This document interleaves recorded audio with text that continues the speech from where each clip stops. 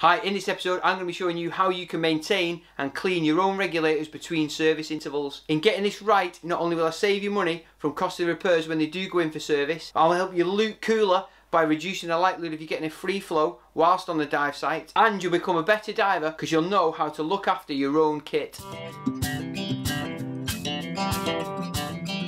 Hi, I'm Andy the Northern Diver and welcome to another episode in this series of scuba diving tutorials. In this episode I'm going to show you how to regularly clean and maintain the serviceability of your dive regulators. If this is your first time here then, please click the subscribe button below. That way you can easily see all the videos we've produced before and just at the side of that you should see a little bell icon. If you click that, that'll give you a notification every time we post a new video. If you've not got a YouTube account then, click the little link that I've posted up here. That'll take you to a video that I've done. That'll take you two minutes to set up a YouTube account. That way you can like, you can subscribe, and you can comment to any video that you watch on YouTube. And make sure you stick around to the end where I'll be giving you my top tip. So it's good practice every time you return from a dive to rinse your kit out and make sure it's nice and clean and ready for the next dive, whether that be in half an hour or three weeks time. Did you know that you don't need to hold a service technician's qualification just to maintain the serviceability of your own regulators? Grab yourself a brew, put your feet up and I'll show you how to do it. So the first thing we're going to talk about is the dust cap. Firstly, it stops any water or dirt getting in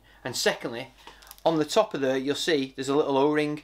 So if this one disappears, you can replace it with this one. But why would you want to replace it if you don't have to? So when you strip your kit down, make sure you put that on, screw it up nice and tight. After we've fitted the dust cap, we're then going to stick the regulators under a running tap to rinse through the internals of the regulator to remove either any debris or salt build-up. Get your regulator with the mouthpiece pointing upwards, turn on the warm tap and just run water through that, maybe for a minute or so, and you'll see as it's spilling out through the exhaust ports. In doing that, that should flush out any debris that's got in there and help reduce the salt and, and sort of crud build up within the regulator.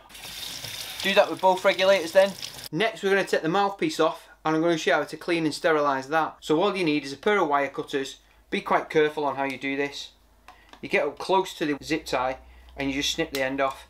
In doing that, you can just grab the mouthpiece and pull that clear. So if you take both of them off then, sometimes they're a little bit grotty inside. So what I'll do is just a little bit of soapy water, a little bit of detergent, give that a clean off of my hands, maybe a little a toothbrush that I've got in my in my service kit just to make sure that's nice and clean. Next thing you need is something like Milton, a sterilising fluid. It's available from the hardware store, about three or four quid. Now I use a two litre jug and I'll probably half fill that.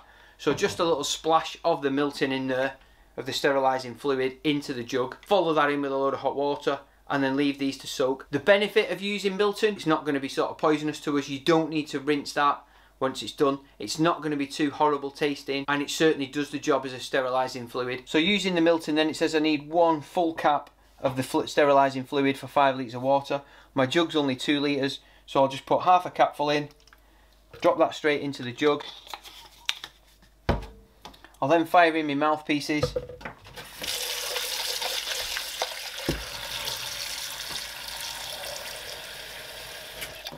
add a load of water to the jug, give that a bit of a swill around and I'll leave that to sit there for about 15 minutes. So now I've serviced my regulators or I've washed them down, they've been soaking overnight and I'm now going to put the, the mouthpiece back on.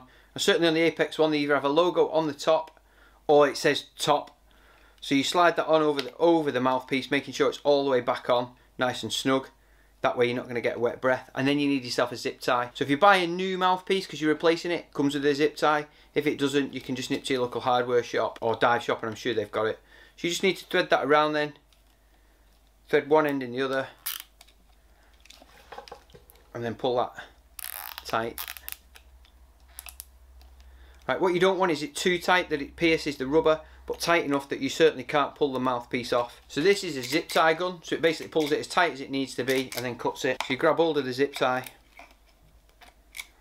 that pulls it tight and then cuts it nice and trim so there's no sharp edges. You can just use a set of wire cutters for that, just be careful you don't cut any of the rubber or mark and dent any of the plastic. It's as simple as that. So as long as the mouthpiece doesn't come off, it's done. Then we're going to soak the entire set of regulators in some warm water overnight to reduce the salt buildup in all the nooks and crannies. So this then, all you need is a bucket of water and a set of regulators and leave them to soak. Make sure they're fully submerged and just leave them there overnight. You don't need any detergent or anything else in there. Just water. So when they come out the next day, they're going to be dripping like this. Just leave them out somewhere to dry. Then just put them away in the storage bag for the next dive. So my top tip, get yourself one of these rubber buckets from the hardware store. They're ideal for not only soaking your regulators, but keeping them clean and tidy whilst they're in your car or your vehicle, and also stowing some of your other dive kit. Brilliant these and only about a fiver. If you've got any comments or points or questions about what we've done today, put them in the comments box below and be sure to get back to you. I'll even give you a thumbs up. Make sure you watch all the rest of this series then, where you can see loads of top tips that I've picked up along the way. I'll put a series link just up here for you. Thanks for watching. See you on the next one. See you on Insta.